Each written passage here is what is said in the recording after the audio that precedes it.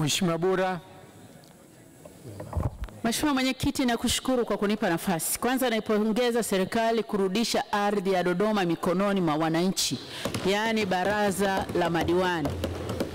Kwa kuwa CDA imevunjwa na ndiyo mamlaka iliyokuwa na madaraka juu ya ardhi ya Dodoma, na wakati inavunjwa wako wananchi ambao walishapata barua za kumiliki ardhi, lakini walikuwa hawajaonyeshwa maeneo yao, na wako wananchi ambao wanalipa kidogo kidogo pale CDA.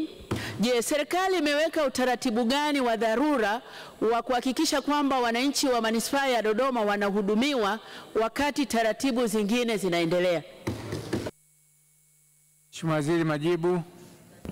Asante Mheshimiwa Mwenyekiti, napenda kutoa majibu ya nyongeza kwa niaba ya Waziri wa Ofisi ya Rais TAMISEMI kuhusiana na swali lililoulizwa na Mheshimiwa Bura kama ifuatavyo.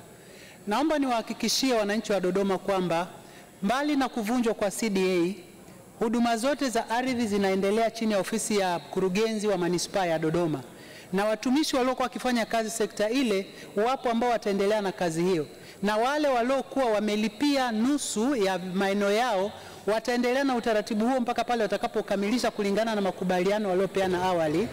Aidha, wale wote ambao wana zile hati ambazo si hati miliki ambazo tunazitambua, kutakuwa na utaratibu wa kubadilishiwa na kupewa zile hati ambazo watapewa muda wa miaka tisini na tisa kuanzia pale alipopewa awali.